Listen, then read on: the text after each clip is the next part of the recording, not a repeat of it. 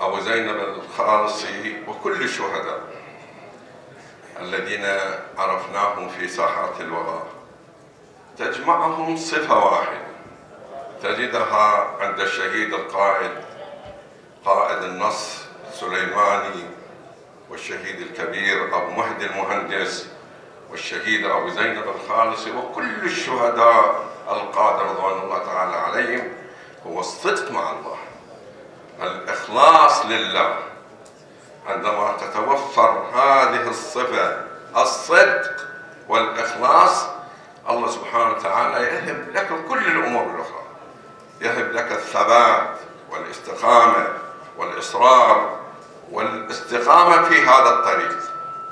اليوم إحنا المشكلة وقعنا عني زينب مثال للزهد ومثال للصدق. ومثال للإخلاص روح يم. ندردش. كان يرشدنا كان يثبتنا. والله أنا بالنسبة لي أبو زينب كان أعتبره قائد ألجأ إليه عند المحنة وعند الصعوبة.